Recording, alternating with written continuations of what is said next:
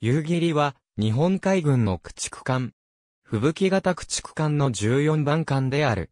霧級や夕霧級と表記されたこともある。この名を持つ日本海軍の艦船としては、篠目型駆逐艦の夕霧に続いて2隻目。一等駆逐艦夕霧は、日本海軍が舞鶴工作部で建造した吹雪型駆逐艦。1930年12月に竣工した。当時の所属は第8駆逐隊であった。1935年9月26日、大演習のために臨時編成された第4艦隊が台風の被害を受け遭難する。中でも、当時最新鋭であった吹雪型の夕霧と初雪は、手法より前が切断されるという損害を被った。この事件は友鶴事件とともに、その後の日本の感染設計に大きな影響を与えた。1939年11月1日、従来の第8駆逐隊は第20駆逐隊に改称した。太平洋戦争開戦時、霧級4隻は引き続き、第3水雷戦隊機下の第20駆逐隊を編成しており、マレー部隊に所属して、マレー作戦に従事した。第20駆逐隊は、マレー部隊所属の各部隊、各艦と共に、沿道沖海戦、シンガポール方面作戦、スマトラ上陸作戦、アンダマン諸島攻略に従事した。同年3月10日、前年末に沈没した姉妹艦サギリに代わって、駆逐艦白雲が第20駆逐隊に編入された。20× は、定数4隻で4月上旬のベンガル湾機動作戦、6月のミッドウェー作戦、7月下旬の B 作戦に従事した。ガダルカナル島攻防戦に伴い、第3水雷戦隊は、日本陸軍の川口支隊をガダルカナル島に緊急輸送することになった。8月28日、第20駆逐隊は、サンタイサベル島付近で、ヘンダーソン飛行場から飛来した急降下爆撃機の空襲を受け、朝霧沈没、夕霧と白雲大破という損害を受けた。夕霧は、呉海軍交渉で修理を行い、第20駆逐隊は解体された。修理後の夕霧は1943年1月16日府で第8艦隊に編入され、ソロモン諸島に進出した。1943年2月25日、霧級2隻は第11駆逐隊に編入された。5月16日、夕霧は、米潜水艦の来撃により損傷し、内地に戻った。8月上旬より、呉で修理を行った。11月上旬、修理を終えた夕霧は、呉を出撃し、ラバウルに進出する。11月24日、部下島輸送作戦に従事中の日本軍輸送部隊は、米軍水雷戦隊の奇襲攻撃を受け、駆逐艦大波、巻波、夕霧は一方的に撃沈された。舞鶴洋工部工作部で建造。1928年12月11日、日本海軍は建造予定の駆逐艦を夕霧と命名する。同日筆、吹雪型駆逐艦に類別した。1929年4月1日、夕霧は寄港した。日本海軍において、電気溶接を採用した最初期の艦艇である。1930年5月12日、夕霧は浸水した。8月9日、夕霧偽装員事務所は事務を開始する。12月2日、夕霧偽装員事務所は撤去された。12月3日、竣工する。同日筆、第8駆逐隊に編入された。1931年1月31日、竣工した駆逐艦サギリが第8駆逐隊に編入され、8× は、霧級4隻を揃えた。1932年、第1次上海事変において、超高水域の作戦に参加。5月19日、サギリは、新編の第10駆逐隊に転出した。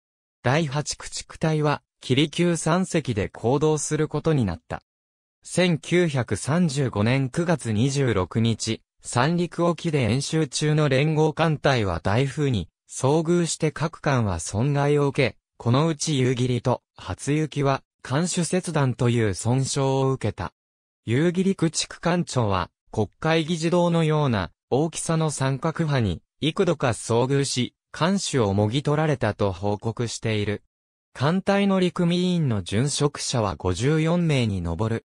夕霧と初雪は栄光されて大港工作部に退避し、同地で応急修理を行った。その後、夕霧を含め損傷各艦は、舞鶴工作部で修理工事を行った。性能改善と設計方針見直しのため、舞鶴工作部で建造中の白津湯型駆逐艦、海部は一時工事中止に至った。この間の10月24日府で、夕霧は第8駆逐隊から除かれた。1936年12月1日、夕霧は第8駆逐隊に復帰した。日中戦争に際しては1937年以降、上海、甲州湾上陸作戦、河南沿岸での諸作戦、北部仏印進駐作戦に参加。1939年11月1日、日本海軍は駆逐隊の名称を変更する。朝潮型駆逐艦4隻で編成されていた第25駆逐隊を第8駆逐隊と改名する。吹雪型3隻の第8駆逐隊は第20駆逐隊に改称した。1940年5月1日、日本海軍は第1艦隊機下に第3水雷戦隊を新編した。編成当初の3水戦は川内型系ジュニオ艦川内、第12駆逐隊、第20駆逐隊である。8月1日、サギリが第20駆逐隊に編入され、20× は吹雪型、霧級4隻となった。同年9月、第3水雷戦隊は、北部仏印進駐に伴う、陸軍輸送船団護衛任務に従事した。1941年1月19日、土佐沖で演習中の夕霧は、軽巡洋艦北上と衝突するが、2隻とも、損傷程度は軽微だった。太平洋戦争海戦時、第3水雷戦隊は、マレー部隊に所属し、他部隊からの編入部隊と共に、南方作戦における、マレー作戦に従事した。12月24日、ボルネオ島サラワク州クチンで、輸送船団を護衛していた、姉妹艦サギリが、オランダ潜水艦、K ズビーに撃沈された。第20駆逐隊は、キリ級3隻となった。1942年1月24日、第3水雷戦隊司令官、橋本慎太郎少将指揮下の輸送部隊は、マレー半島シンゴラを出撃、エンダウに向かった。輸送船2隻を護衛部隊で護衛する。26日に沿道に到着したところ、イギリス軍機による空襲にさらされて輸送船に若干の被害があった。1月27日未明、連合軍駆逐艦、サネットとヴァンパイアがエンダウに到着、白地に停泊中の日本軍輸送船団を襲撃した。第3水雷戦隊の反撃により、サネットは沈没、ヴァンパイアは損傷して戦場から飛退した。同年3月10日、日本海軍は第12駆逐隊を解体し、12× 所属だった駆逐艦白雲を第20駆逐隊に編入した。第20駆逐隊は吹雪型4隻となり、引き続き、マレー部隊として、機下各部隊、各艦と共に、シンガポール方面作戦、北部スマトラ攻略作戦、アンダマン諸島攻略作戦と、ビルマ攻略作戦、ベンガル湾機動作戦などに従事した。4月初旬、南雲機動部隊の正論島攻撃に作応し、小沢中将指揮下のマレー部隊機動部隊は、ベンガル湾で通称破壊作戦を実施した。第20駆逐隊4隻は、中央隊、北方隊、南方隊に区分されて行動した。作戦実施直前の4月3日0645、南アンダマン島のポートブレアに停泊していた、機動部隊警戒部隊に対し連合軍爆撃機が空襲を観光、夕霧は資金弾で若干の損傷を受けた。翌日以降、マレー部隊機動部隊はベンガル湾に進出し、4月6日の作戦で大きな戦果を挙げた。中央隊のユラ、竜城、夕霧は艦砲射撃により、商船3隻を撃沈している。夕霧は、ユラによる、商船撃沈を支援した。作戦後、バキタル機動部隊は、燃料補給を行いつつ、ベンガル湾を離れ、4月11日シンガポールに帰投した。同地到着前日の10日、連合艦隊は第2弾作戦第1機兵力部署を発動し、第3水雷戦隊は主体に編入された。南方作戦が一段落すると、マレー部隊に編入されていた各部隊、各艦は内地に帰投した。夕霧は4月22日暮れ到着、呉交渉で修理を行い、5月9日に完成した。5月下旬から6月上旬のミッドウェー作戦において、第3水雷戦隊は、連合艦隊司令長官山本56大将と、第1艦隊司令長官、高須四郎中将の戦艦部隊を護衛した。5月29日朝、主力部隊は、桂島白地を出撃した。第29地区隊は、第1艦隊司令長官、高須四郎中将指揮下の警戒部隊に区分されており、6月4日0500に、山本長官直卒の主力部隊主体と分離した。ミッドウェー海戦に敗北した後内地に戻った3、水戦は、6月下旬より、奄美大島や沖縄諸島方面で、対戦相当に従事した。7月下旬、第3水雷戦隊は、インド洋方面通商破壊を主目的とする B 作戦に従事するため、マレー半島西岸のメルギーに進出した。B 作戦参加部隊の兵力部署において、3推薦司令官指揮下の機動部隊、北方隊に所属していた。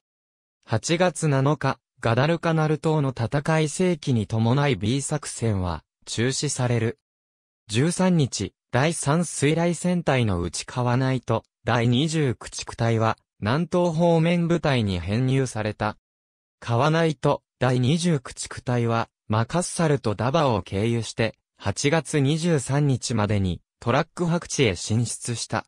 すでに川口地帯の画島進出を護衛するよう命じられていた。1942年8月20日、第35旅団長、川口清県陸軍少将を指揮官とする、川口支隊は輸送船2隻に分乗し、トラック白地に到着した。三水船のうち、第11駆逐隊と第19駆逐隊は不在だったので、第3水雷戦隊司令官、橋本慎太郎少将直卒の5隻だけが、川口支隊の直接護衛戦力であった。トラック白地の打ち合わせでは、川口支隊長が、南方作戦での成功例をもとに途中上陸と大発動艇による終艇軌道を主張したので、上重徳第8艦隊参謀と、越地和夫第17軍参謀を困惑させた。最終的には、川口市隊長も画島直行に同意した。8月24日、第3水雷戦隊の大部分は、外何用部隊に編入される。同24日午前10時、第3水雷戦隊司令官、橋本慎太郎少将が指揮する5隻は輸送船2隻を護衛してトラック白地を出撃した。だが、日本海軍は第2次ソロモン海戦に敗北した。第2水雷戦隊が護衛していた一騎士隊、第2艇団と海軍陸戦隊の輸送船団も空襲で被害を受けた。輸送船、金達丸と駆逐艦ムツキが沈没、機関人数が損傷、船団輸送は中止された。損傷艦はトラック白地へ、建材艦はブーゲンビル島ショートランド白地あるいはニューブリテン島、ラバウルに撤退した。上級部隊の命令により、ガ島への増援輸送は、駆逐艦をもって実施されることになった。8月26日夜半、第20駆逐隊は、ラバウル行船団と分離した。第20駆逐隊は、高松越尾陸軍少佐が指揮する、不評第124連隊、第2大隊を分譲させ、ガダルカナル島へ向かう。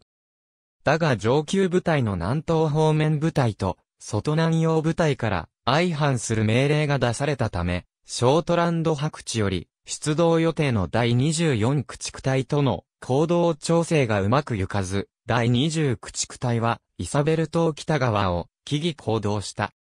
8月28日昼過ぎ、第20駆逐隊は、ガトーヘンダーソン基地より発進した、米軍級降下爆撃機、SBD ドーントレス11機の空襲を受ける。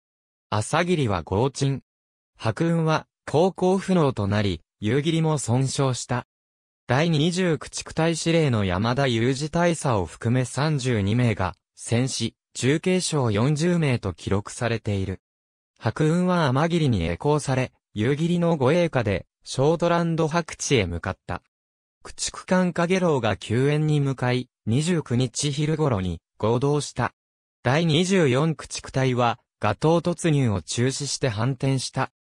増援部隊指揮官も、同判断を下し、第一次駆逐艦輸送作戦は、失敗に終わった。8月30日0600から0730までに、カゲロウと第20駆逐隊はショートランドに到着した。第20駆逐隊がショートランド白地に到着する前に第11駆逐隊とサドマルはショートランド白地に進出していた。第20駆逐隊各艦に乗船していた陸軍側指揮官は川口市隊長に遭難状況を報告した。川口市隊長は、終定軌道案を強行に主張し、第2水雷戦隊の輸送計画は、変更を余儀なくされた。この件でに水戦、第8艦隊、第17軍艦で、意見や認識の相違と誤認があり、様々な要素が重なりガトー増援部隊指揮官の鋼鉄という事態になった。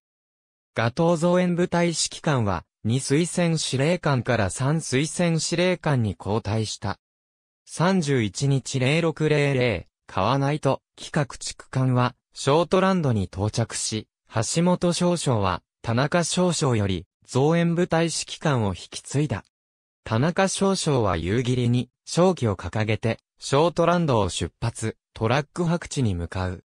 9月2日、夕霧は、トラック白地に到着し、田中少将は2推薦期間を、夕霧から神通に変更した。9月7日、夕霧は、連合艦隊主体に編入された。10月1日、第20駆逐隊は、解体された。天霧は、第8艦隊に編入される。夕霧と白雲は、呉鎮守府警備駆逐艦となり、呉鎮守府部隊に編入された。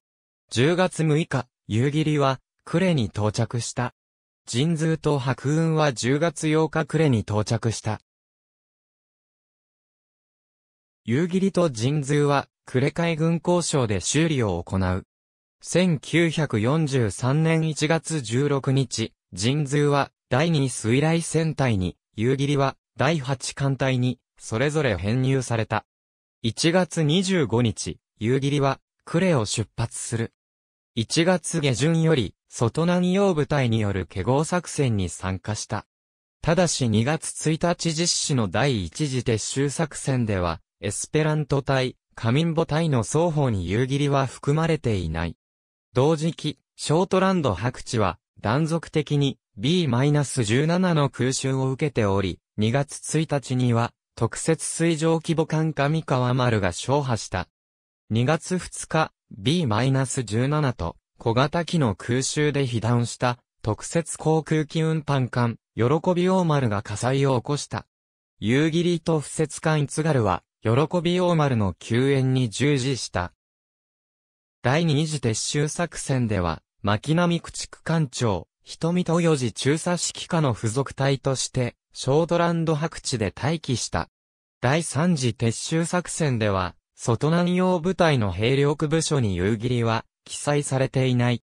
ケ号作戦成功後、第三水雷戦隊司令官は、橋本慎太郎少将から木村正富少将に、交代、木村少将は2月14日からバウルに到着した。また、ケ号作戦のため派遣されていた部隊や艦艇は、現隊に復帰した。このうち、第24駆逐隊の駆逐艦航風は、陸軍輸送船4隻のショートランドラバウル海溝、護衛中の2月9日夜、東運ぶ丸と衝突した。夕霧と水雷艇大鳥は、航風救難を命じられた。航風は夕霧に護衛されて、ショートランド白地に引き返し、応急修理を行った。11日、航風は黒潮に栄光されて、ショートランドを出発、ラバウルに向かった。2月25日、天霧と夕霧は第11駆逐隊に編入され、この時点で 11× は定数4隻を回復した。夕霧はソロモン諸島での輸送任務に従事した。3月3日、第11駆逐隊の駆逐艦白雪が沈没した。白雪が沈没する際に、木村少将は重傷を負い、公認の三推薦司令官は、江戸平太郎少将となった。同艦は4月1日府で、第11駆逐隊から除籍され、11× は3隻となった。また戦時編成の改定により、第1水雷戦隊と第3水雷戦隊は第1艦隊から除かれ、3水戦は正式に第8艦隊霊下となった。第8艦隊司令長官も、三河軍一中将から鮫島具重中将に交代した。外南洋部隊の駆逐艦や小型艦艇は中部ソロモン方面や東部ニューギニア方面への輸送作戦に奔走した。4月下旬より、外南洋部隊の駆逐艦3隻は、三体サベルジマレカタ基地への輸送を複数回実施した。5月8日には、コロンバンガラ島輸送従事中の第15駆逐隊が、嫌いによって全滅する惨事も起きた。5月16日、ムッソー島沖で、夕霧は、米潜水艦の来撃を受け、艦首部切断の損傷を受ける。戦死者9名。夕霧は天霧に栄光され、ラバウルに移動した。7月上旬より、トラック白地で、応急修理を行った。この間、第11駆逐隊司令は、杉野修一大佐から山城勝森大佐に交代した。また7月6日の倉湾野戦で、第3水雷戦隊機関新月が沈没し、3水戦司令官、秋山照夫少将が戦死した。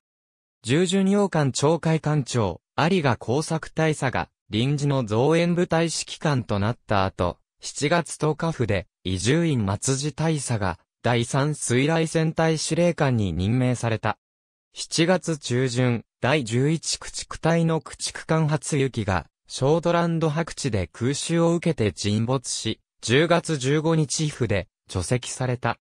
現在の第11駆逐隊所属艦は天霧のみという状態だった。7月24日、夕霧とエトロフ型解剖艦沖は輸送船団を護衛してトラック白地を出発する。8月1日、夕霧と沖は横須賀に到着した。夕霧は8月5日に横須賀を出発、8月7日呉に到着した。呉海軍交渉で修理を行う。11月9日、夕霧は呉を出撃した。13日にサイパン島到着。翌日出発し、15日トラック白地到着。翌日出発し、18日ラバウルに到着した。